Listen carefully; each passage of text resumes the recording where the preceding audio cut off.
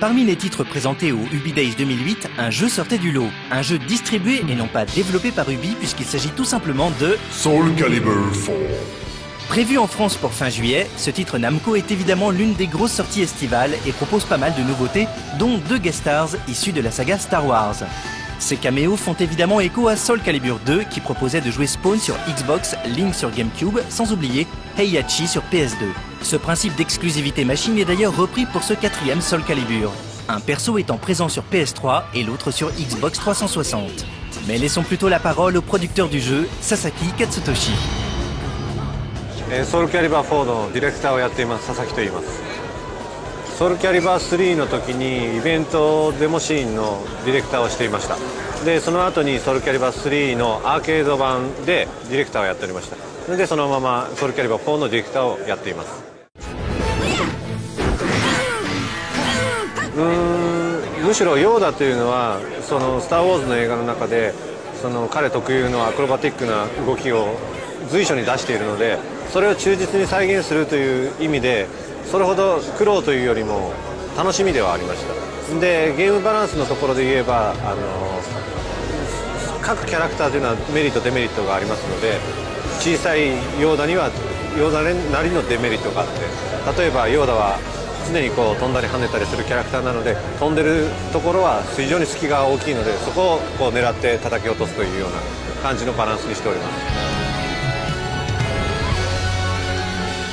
まさにそのおっしゃる通りでダース・ベイダーというのは映画の中であまり大きく動いてないのでむしろそのソウルキャリバーのアニメーションスタッフの中ではもう映画を参考にというよりもあのダース・ベイダーという威圧感のあるキャラクターをフォースを使ったダース・ベイダーという特徴をじゃあソウルキャリバーの世界に来たとしたらどんなアクションをするかっていうのを重点的にあの作っています。ですのでダース・ベイダーっていうのは圧倒的なフォースの力とそれからまああの剣を振る達人の動き動きは少ないんですけれども達人的にさばく剣さばきを重点的にあの作っています Transcending history and the world.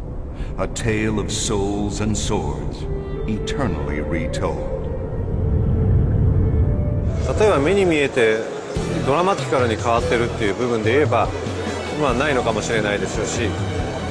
ただベースに格闘ゲームがあるのはやはりその攻防の駆け引きですよね。なんていうのかな。対戦ツールとして格闘ゲームっていうのはありますのでそこが基準で働いているからもう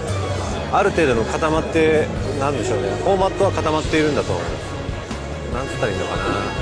難しいな。例えば FPS だとあの実際問題はじゃあドラマティカルに変わってるのどこかって言ったらあの例えばあの物理エンジンを使ったりとかして夜リアルに動いたりとかでいろんなところが普通に壊せたりとかってそういうゲームを支えるなんでしょうね環境の部分が非常に大きく進化してると思うんですけれどもじゃあゲーム的にすごい進化してるかって言ったら基本的にはまあ構えて打っているっていうところがあってその中心の面白さっていうのは FPS でも変わっていないと思うんですね。で格闘ゲームの中心的な面白さっていうのはやはりああいう対面でキャラクターが向き合った中での駆け引きですよね。そこがまあある分皆さんの中で変わってないと思われるかもしれないですけれどもうーんなかなか答えにくい質問で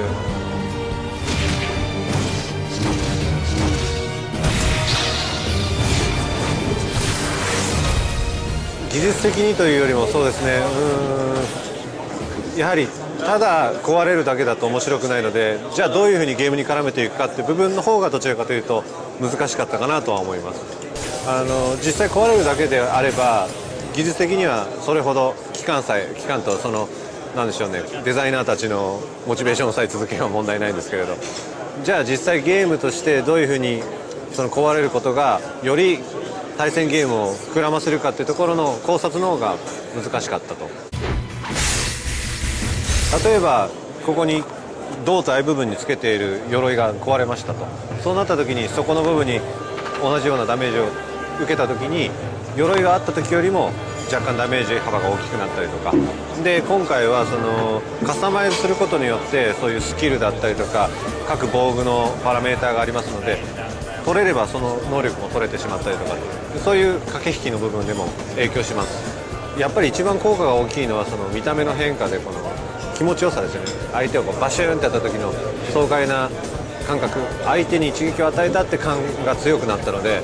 そこが一番効果があったと思います。まあ、大きいところではその技数っていうのは常に進化してきます例えば全く新し全く新しいキャラクターがあの例えば4で入った新しいキャラクターっていうのはもちろん完成度はあるんですけれども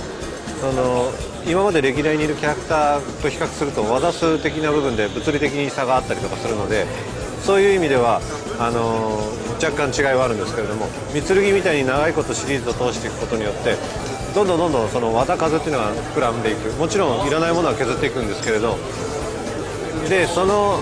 なんでしょうね。トライアンドエラーだと思うんですね。前シリーズがこう前の三剣を超える三剣を作ってきてさらにそれを超える三剣を作ってきてっていうその